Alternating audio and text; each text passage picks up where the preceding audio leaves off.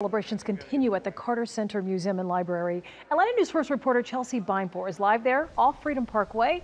Chelsea, people from all over the country stop by to honor the former president. Yeah, we spoke with people that came all the way from California and Washington State. Of course, also a lot of local people from Atlanta and across Georgia coming here to celebrate. They say they had never been here before, that they made it a point to come today to celebrate the former president's birthday. We also spoke with his grandson, Jason Carter, who provided us a small health update and reflected back on 100 years of his grandfather's life. 100 cupcakes and 100 candles to celebrate 100 years of Jimmy Carter.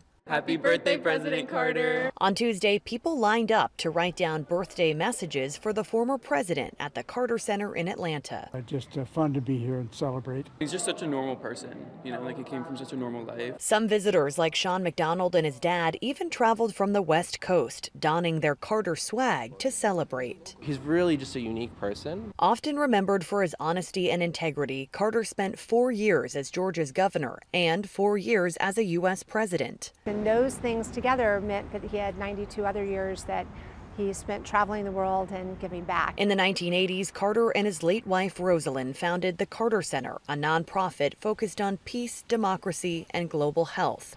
Grandson Jason Carter now serves as the chairman. We spoke with him today on this momentous occasion, the first U.S. president to live a century. This is an incredible day. I mean, not everybody gets 100 years, and certainly not everybody uh, has taken those 100 years and done the incredible things that my grandfather has done. From serving as a global leader to helping eradicate guinea worm and teaching Sunday school back home in Plains, Jimmy Carter accomplished a lot in a hundred years.